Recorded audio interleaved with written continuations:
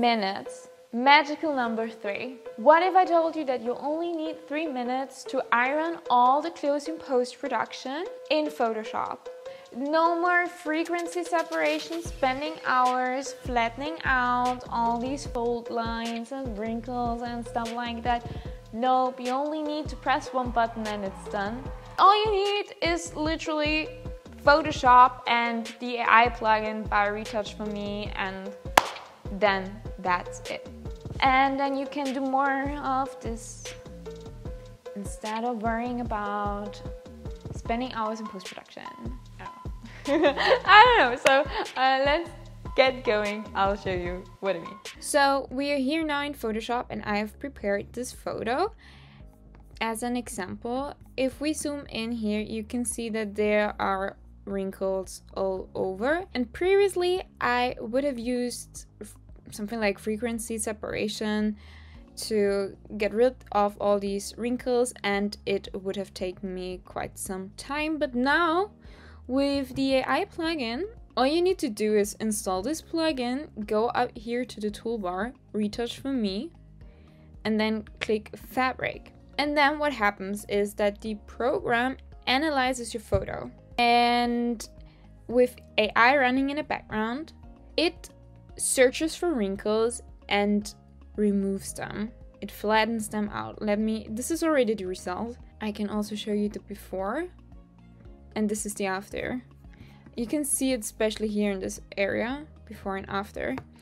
And now some might say, okay, this is way too much, uh, but you have here a slide where you can actually blend the original photo with the AI edit and see how much you like. And then you can also check the adjustments the plugin did by clicking here on this brush tool. And all these green areas is where um, the AI detected some wrinkles and it kind of removed them.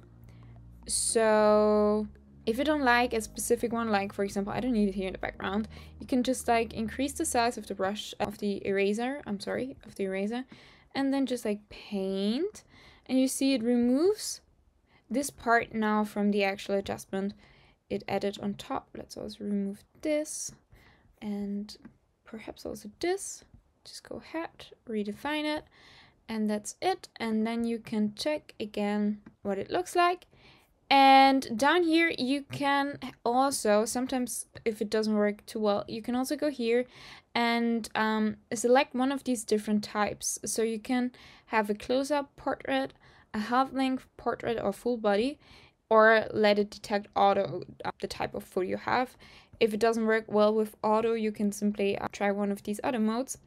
And then what you can do is simply click apply. And that's it. Done. And trust me, if you have a lot of photos to edit, this saves you so much time. And it's so easy to do and I just love to use it. Sometimes, if it doesn't work the best way, I have found a workaround. Um, if your subject is a bit smaller in the scene, what you can do is simply use the object selection tool and then select your subject in the photo. And then you can do the same, click on retouch for me, fabric, and then it will mainly focus of the on the area you have selected before and sometimes it works better then. But yeah, that's just a small tip on the side. Usually works quite well. And yeah, an amazing AI tool for all these photographers out there that work a lot with like fashion, garments, clothes, and so on.